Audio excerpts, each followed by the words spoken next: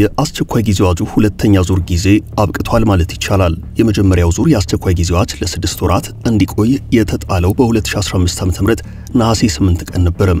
ከዚያም አሁን በሥራ ላይ ባለው ሕገ መንግሥት አስቸኳይ ጊዜ አዋጅ የሚራዘም ከሆነ የመራዘሚያ ጊዜው ባልተገደበ መልኩ ለአራት ወራት እየተራዘመ የሚቀጥል መሆኑን የሚያመላክት ሲሆን በዚሁ መሠረት ባለፈው ጥር 24 ቀን 2016 ዓ.ም ፓርላማው ለአራት ወራት እንዲቆይ ያራዘመው አዋጅ ጊዜው መጠናቀቁን ማስታወስ ይቻላል። ከጥር 24 ጀምሮ ቀናቶች ሲሰሉ አራተኛው ወር የሚያርፈው ግንቦት 24 ቀን 2016 ዓ.ም ላይ ነው። ከዚህ አንጻር ሲታይ ሰኔ ሊገባ ሁለት ቀናት ብቻ ቀርተዋል። ይህ ስለሆነም የአዋጁ ጊዜ ተገባዷል ማለት ይቻላል። እናም በክልሉ የተጣለው የአስቸኳይ ጊዜ አዋጅ በዚሁ ያበቃል ወይንስ ይቀጥላል በሚለው ጉዳይ ዙሪያ እስካሁን በመንግስት በኩል የተባለ ነገር የለም። መንግስት አዋጁን መልሶ ካላጸደቀው ቀሪ እንዳደረገው የሚቆጠር ይሆናል።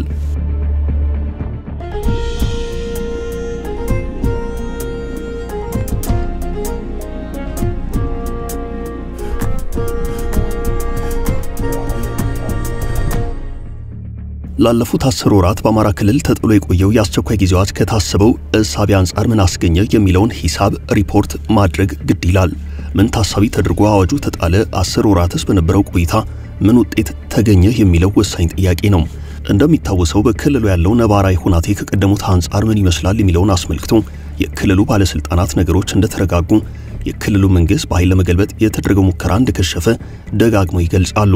ከነዚህ የመንግስታዊ ሚዲያዎች ዘገባዎች አንጻር አስቸኳይ ጊዜ አዋጁ ቀሪ የሚደረግ ሆኖ ይታያል። በሌላኛው አቅጣጫ ደግሞ ከዚህ ቀደምም የስድስት ወራቱ የአስቸኳይ ጊዜ አዋጅ አልቆ ሌላኛው የአራት ወራት የአስቸኳይ ጊዜ አዋጅ ከመራዘሙ በፊት ተመሳሳይ ሪፖርቶች ይደመጡ ነበረም።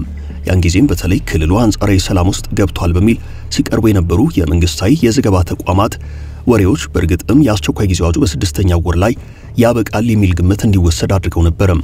ሆኖም የሚዲያ ሪፖርቶቹና በመጨረሻ የአዋጁ በድጋሚ እንዲራዘም የመደረጉ ጉዳይ ለየቅል ሆኖ ታይቷል። በእርግጥ ከአዋጁ መራዘም በኋላ ባለፉት አራት ወራት በአማራ ክልል የተለያዩ አካባቢዎች በፋኖና በመንግስት ኃይላት መካከል ውጊያዎች ተካሂደዋል። አሁንም ቢሆን በክልሉ በአንድም ይሁን በሌላ መልኩ በበርካታ ስፍራዎች ውጊያዎች መቀጠላቸውን የሚያሳዩ መረጃዎች ይወጣሉ።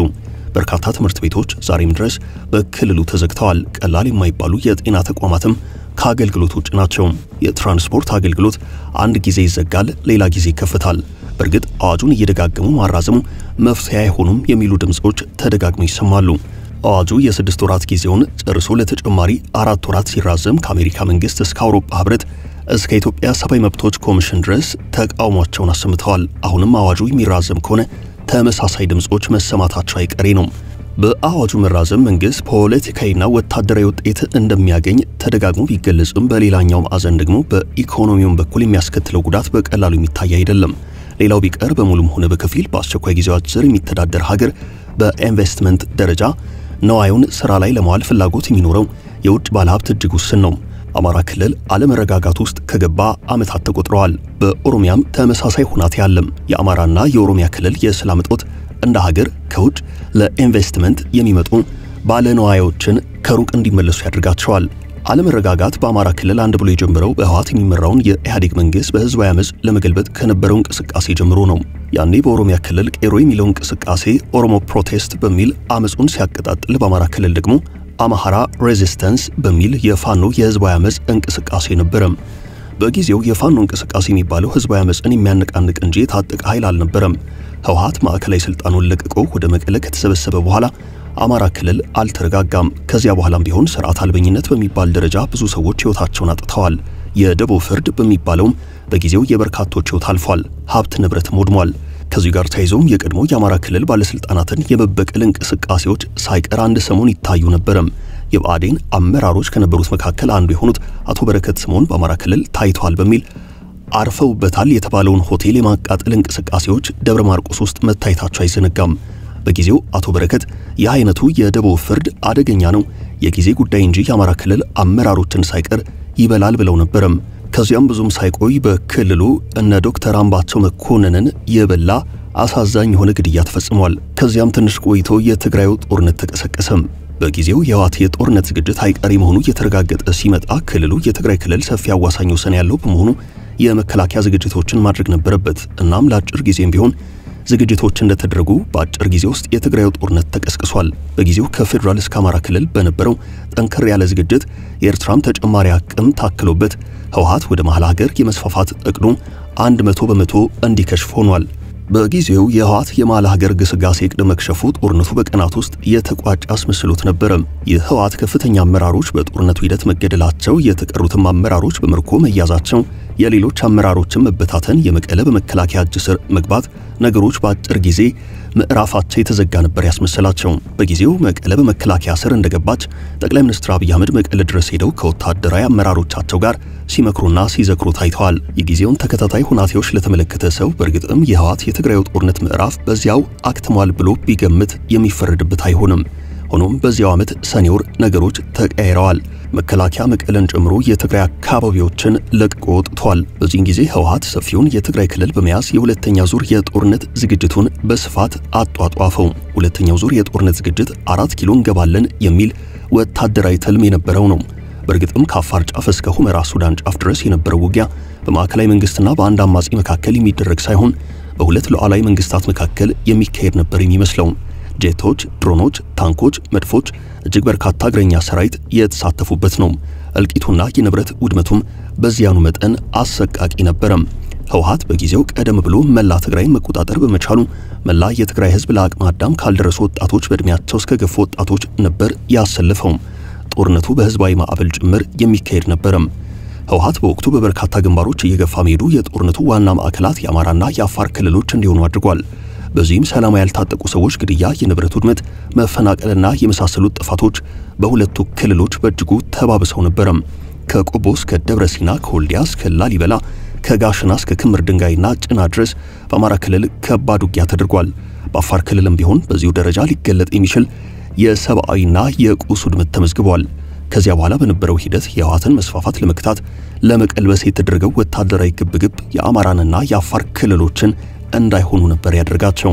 በአማራ ክልል ከዚህ ወታደራዊ ግብግብ ውጭ የነበረው ጎጃም ብቻ ነው። ጎጃም የህወሓት መንደርደሪያ ከነበረው ትግራይ ጋር በወሰን የማይገናኝና ሩቅም ስለነበር ከውድመቱ መትረፍ ችሏል።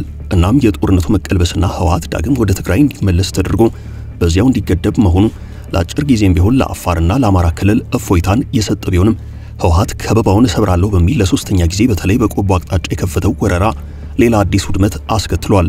ነገሮች በዚህ መልኩ ቀጥለው በፌዴራሉ መንግስትና በህወሓት መካከል የፕሪቶሪያው ግጭት የማቆም ስምምነት ሲፈረም በኢትዮጵያ ሰላም ይወርዳል የሚሉ ግምቶችና ተስፋዎች ነበሩ። በጦርነቱ በእጅጉ የተጎዱትን የትግራይ የአማራና የአፋር ክልሎችንም መልሰው እንዲያገግሙ ለማድረግ የሚያስችል ጊዜ ይፈጠራል የሚሉ ግምቶች ነበሩ። ነገር ግን ይህ ሊሆን አልቻለም። የጦርነቱ ግንባር ከነበሩት ሶስቱ ክልሎች አፋር ክልል አሁን ወደ ሰላማዊ እንቅስቃሴው ተመልሷል። ከጦርነቱ ውድመት ለማገገም ግን ገና ብዙ ጊዜ ይፈልጋል። ትግራይ ክልል ከደረሰበት እጅግ ከባድ ውድመት አንጻር የቀደመችዋን ትግራይ መልሶ ለማግኘት እጅግ ብዙ ስራ ይጠይቀዋል። መሰረተ ልማቶች ወድመዋል። ኢንዱስትሪዎች ከጥቅም ውጭ ሆነዋል። መሰረተ ልማቶች ሙሉ ለሙሉ ጠግኖ ወደ ስራ ለማስገባት በርካታ ቢሊዮን ብሮችን ይጠይቃሉ። ወጣቶች ስራ አጥ በመሆናቸው ቀላል በማይባል ሱስ ውስጥ ተጠምደዋል።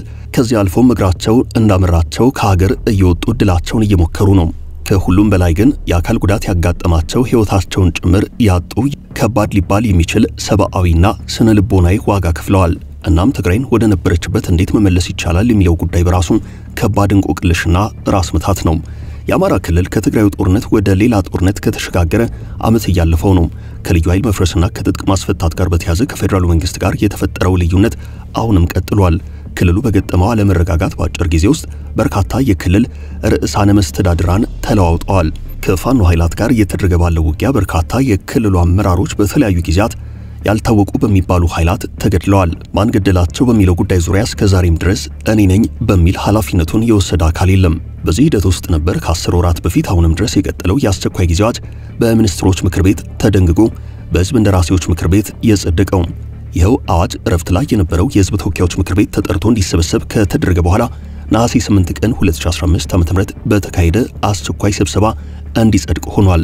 በዕለቱ ይህን አዋጅ ለማጽደቅ በተጠራው አስቸኳይ ስብሰባ ላይ የብልጽግና ፓርቲን ወክለው በሕዝብ እንደራሴዎች ምክር ቤት አባልነት የተሰየሙት አሁን ከሀገር ውጭ እንደሚገኙ የሚነገረው አቶ ገዱ አንዳርጋቸው በእጅጉ የመከራከሪያ ሐሳብ አንስተው ነበረም። የእርሳቸው ዋነኛ የመከራከሪያ ሐሳብ በአስቸኳይ ጊዜ አዋጅ የሚመጣ መፍትሄ የለም፣ የመከላከያ ሰራዊት ከክልሉ እንዲወጣ ይደረግና በምክክር ጉዳዩ ይፈታ የሚል ነው። የሆነ ሆኖ ያኔ በሚኒስትሮች ምክር ቤት በትጥቅ የተደገፈ ህገወጥ እንቅስቃሴ በመደበኛ የህግ ማስከበር ስርዓት ለመቆጣጠር ወደማይቻልበት ደረጃ ተሸጋግሯል በሚል የተደነገገው አዋጅ ኋላ በሕዝብ እንደራሴዎች ምክር ቤት ጸድቆ አዋጁ ለስድስት ወራት ከጸና በኋላ ዳግም ተራዝሞ አሁን የተራዘመው የአስቸኳይ ጊዜ አዋጅ አብቅቶ ቀጣይ ምን ይሆናል የሚለው እየተጠበቀ ነው።